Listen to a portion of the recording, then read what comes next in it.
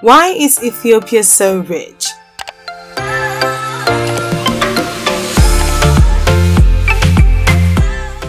At the Horn of Africa is a blocked-in country, Ethiopia, formerly known as the Federal Republic of Ethiopia, with an estimated nominal GDP of $122.591 billion and a PPP of $401 billion. Even though still considered as an emerging power and a developing country, Ethiopia experienced an economic growth of 9.4% from 2010. To better understand Ethiopia's success story, it is necessary to have brief knowledge of where the modern Ethiopia we see today came from. In its recent multinational and border state, Ethiopia was formed under the conquest of Emperor Menelik II. The Derg, a military junta, took power in 1974, and after their collapse in 1991, the country was dominated with a new constitution and ethnic-based federalism by the Ethiopian People's Revolutionary Democratic Front EPRDF. The country has remained a centralized regional power while under monarchical rule since the appointment of Abiy Ahmed as Prime Minister, and its today's economy is based on mixed market orientation. It is the second most populated country in Africa and the 12th most populated in the world, with a population of over 117 million people. Despite its low per capita gross national income, Ethiopia has been one of the fastest growing economies in the world over the past 15 years. However, the country's consistently high economic growth in recent times has resulted in positive trends in poverty reduction in both urban and rural areas. Welcome to Think Rich Africa, the community which brings to you entrepreneurial, business, and personal development content to educate, motivate, and inspire you. We strongly believe that entrepreneurship, rather than global PT, is the key to Africa's growth and development. And we thereby introduce you to our special African development playlist. So if you're African and aren't subscribed to our community, you're missing out. Ethiopia's capital Addis Ababa, often referred to as the political capital of Africa because of its diplomatic, historical and political significance for the continent, is Ethiopia's sprawling capital, bordering the Great Rift Valley in the highlands. It is headquarters of major international organizations like the African Union and the United Nations Economic Commission for Africa, ECA. The city is specially surrounded by the zone of Oromia, and its population is made up of people from different parts of Ethiopia. The city's Human Development Index is high, and it is known for its lively culture, well-built fashion scene, high involvement of youths, growing art, and for having the most rapid economic growth.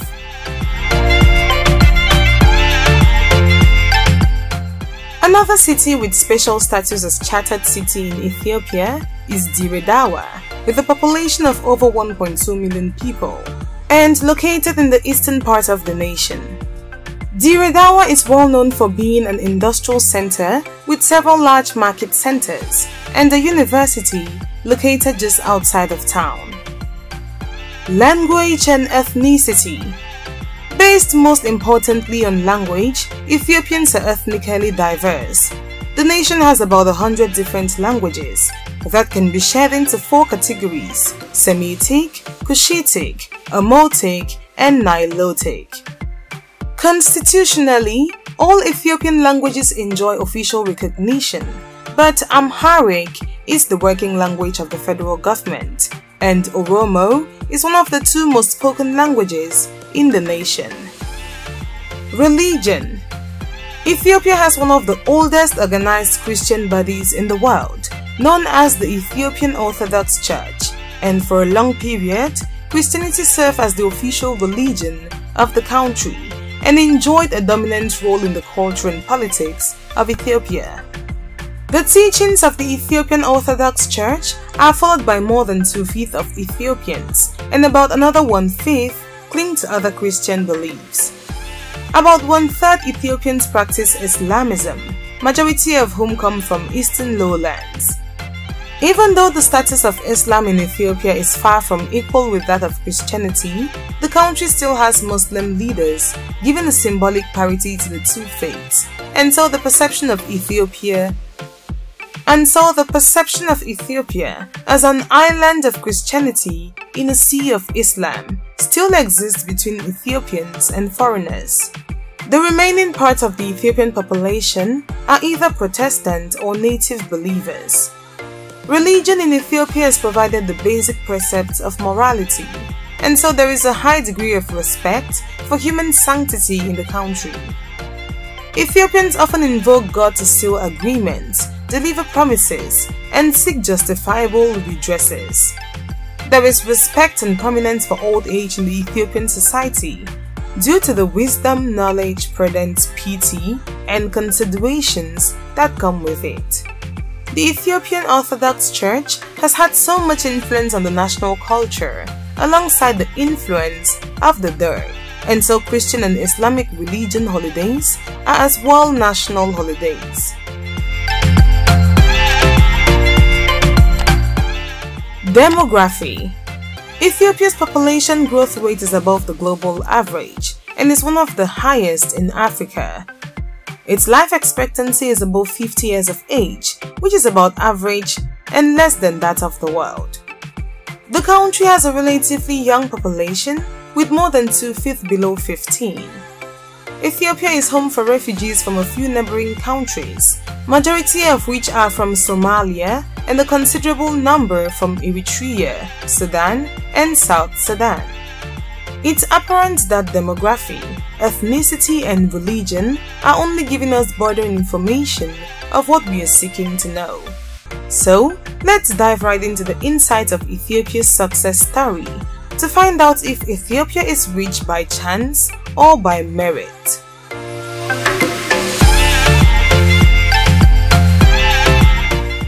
Economy During the rule of Haile Selassie I, Ethiopia enjoyed a little bit of an unbound enterprise.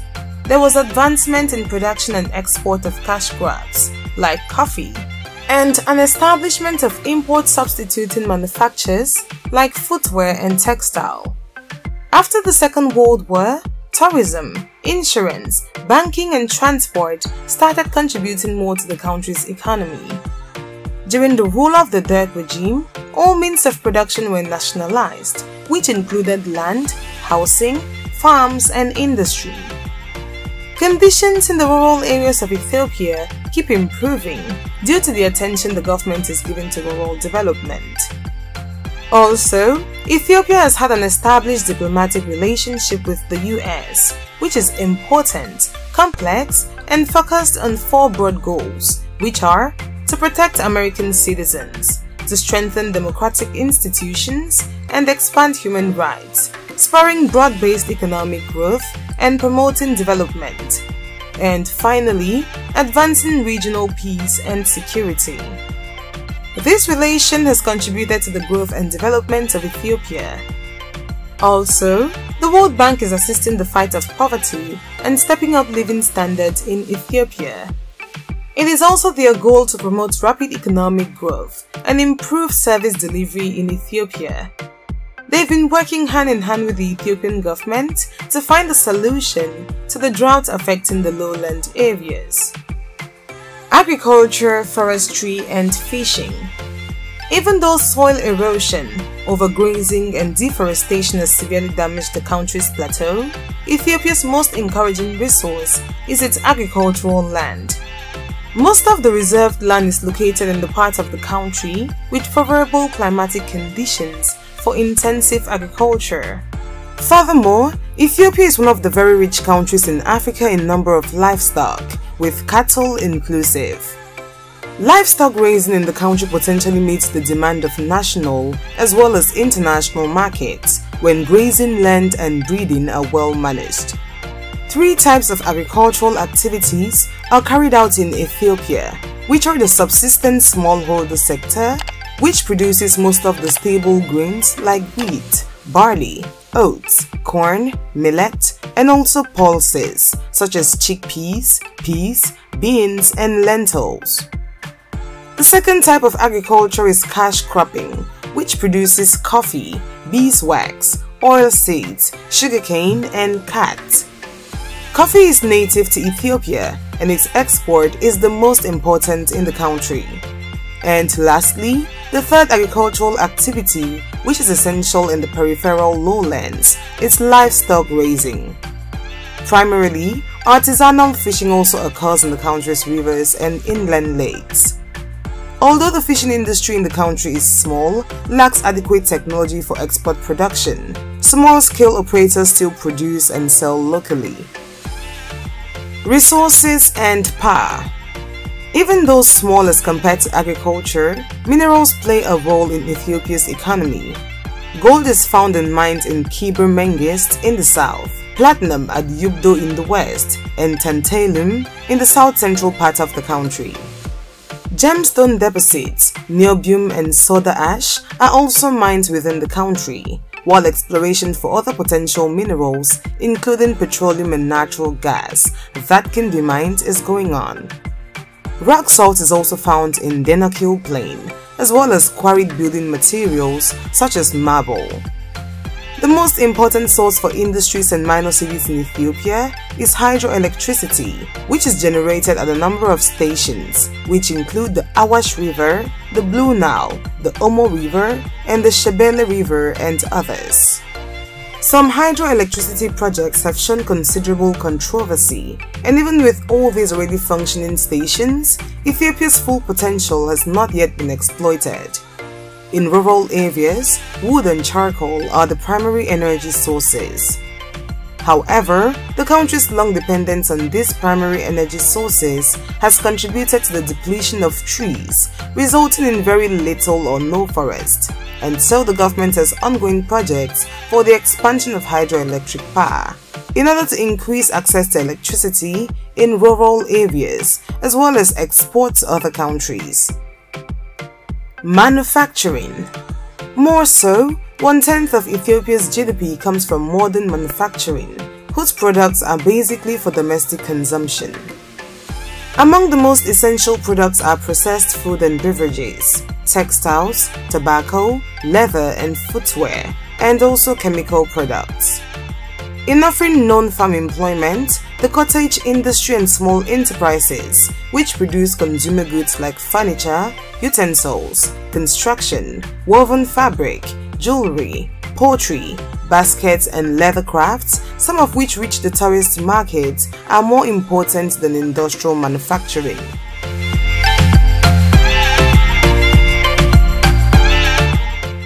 Finance Ethiopia has a national bank known as the country's central bank, which issues national currency, the birr, and is also responsible for the regulation functions. Among the many commercial banks located in Addis Ababa is the Commercial Bank of Ethiopia, which is the largest commercial bank in the country, with branches all over the country. Loans for agriculture, livestock and investment, and even manufacturing are being provided by the Development Bank of Ethiopia. However, many financial institutions extend their loans for business and real estate development. Trade Exportation in Ethiopia is almost entirely for agricultural products like coffee, which is the primary foreign exchange earner. Other products for exportation include khat, hides and skins, oil seeds, live animals, and gold. While chemical products, machinery and transport equipment accounts for most of the value of imports. Ethiopia has an established significant trade partnership with Saudi Arabia, China, and the United States. Services About two-fifths of Ethiopia's GDP comes from the service sector. Even though tourism was lessened during the Derg rule period, Ethiopia once more promotes tourism potentials of historical wonders such as the churches of Lalibela, the Gondar castles, and the antiquities of Aksum. Equally, the diversity of Ethiopia's people, their culture and the natural beauty of their land is also attractive. Labor and taxation According to Ethiopian law, all workers in the country are allowed to participate in unions, except civil servants. Also, the country has labor organizations like the Confederation of Trade Unions, which is an umbrella of a number of autonomous federations and is the largest in the country as compared to the also projecting Ethiopian Teachers Association. More than half of Ethiopian government's budget typically comes from tax revenue, and so improvements have been made in the collection of essential taxes like import duties, income slash profit tax, and sales tax, which have contributed to a rise in the tax revenue. Transportation The road system in Ethiopia has been one among the more successful developments in the country. Above 926 kilometers of Ethiopia's standard gauge railways are electrified. 656 kilometers between Addis Ababa and the port of Djibouti and 2,670 kilometers between the country's capital Addis Ababa and the twin cities of Dessie and Kombolcha. Both cities are already functional and allow passenger transportation with a designated speed of 120 kilometers per hour and free transport with a speed of 80 kilometers per hour, with travel times of averagely 12 hours and 6 hours respectively. Construction projects are currently going on to extend these already existing railways and construct a third railway. As a result of the Ethiopian government's effort to improve the infrastructure of roads, Ethiopia has a total of over 100,000 kilometers of roads which have been paved and graveled. The country has more than 61 airports, among which is the Bole International Airport in Addis Ababa and the Tena Dejasmak Yilma International Airport in Dire Dawa, which accommodate international flights. The Ethiopian Airlines is a member of the Star Alliance and the country's flag carrier. It is wholly owned by the government of Ethiopia and from its hub at the Bole International Airport, it serves a network of above 102 international passengers, 21 domestic passengers, and 45 cargo destinations. However, it is one of the fastest carriers in the industry and in Africa. These improvements in the transportation sector have all led to advancement in the trade and service sectors of the country, which in turn leads to a rise in the country's GDP. Telecommunication Also, the government is currently working actively to expand and improve the telecommunications infrastructure and services in the country, leading to a wide increase in the use of landlines and mobile phones as telecommunication systems. So far, the steps the government has taken already have led to an easy communication in businesses, resulting to advancement in the country's economy. Education In Ethiopia, Access to education keeps improving over the years. There is presently a 700% increase in the 15.5 million primary enrollment, which was recorded in 2008 to 2009. The country has two educational systems, which are rooted in Christianity and Islam. The country currently has colleges of liberal arts, technology, public health, building, law, social works, business, agriculture, and theology. Public education is free at primary, secondary, and tertiary levels, and so there is a significant boost in enrollment for especially girls into schools across all regions of the country. The literacy rate of the country has greatly increased for both female and male. Health and welfare Poor sanitation and malnutrition have been alarming health issues in Ethiopia, but due to improvement in education, medicines and hospitals in the country, there is a considerable reduction in these health issues and advancement in birth rate, infant mortality rate, and death rates witnessed throughout the country in recent years. Also, according to the UNDP report, the average Ethiopian living is 62.2 years old.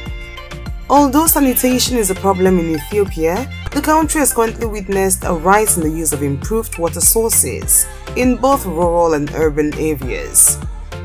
Reports from the WHO states that there are above 119 hospitals and 412 health centers in Ethiopia. Sports and entertainment The main sports in Ethiopia are track and field and football.